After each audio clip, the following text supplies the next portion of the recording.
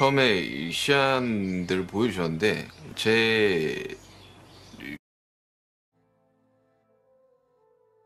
처음에 이 시안들을 보여주셨는데 제 그 시안이 장하시는 고향이었어가지고 그냥 네 제가 할게요 이렇게, 해서 부르게 됐습니다.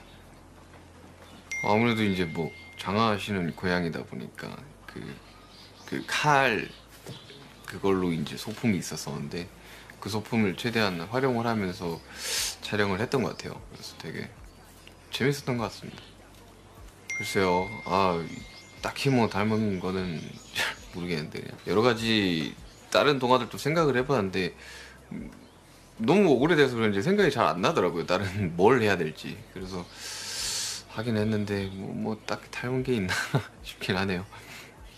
아무래도 장하시는 고양이가 이제 뭐 일을 해결하는 게 하이라이트겠죠. 근데 너무 오래돼가지고 솔직히 기억이 잘 안 나.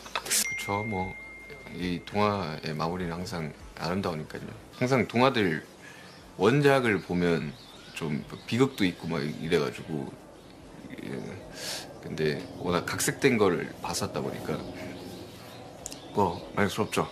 해피엔딩이잖아요. 사실 뭐, 뭐 인생이 뭐 마냥 해피엔딩은 아닐 테지만 뭐 동화에서조차 새드 엔딩일 필요는 없다고 생각합니다. 뭐 어린 친구들이 보는 동화인데 예, 지금 엔딩이면 만족할 것 같아요. 동화 많이 읽었던 것 같아요. 어릴 때 뭐 뭐 전집 같은 게 있었던 것 같고 어릴 적 기억에 뭐 작은 기억 안 나지만 그러니까 어머니가 되게 옛날 이야기도 많이 해주셨던 것 같고 책도 많이 읽고 동화도 많이 읽고 뭐 그랬던 것 같아요. 좀 흥부와 놀르고요. 그 나이 들어서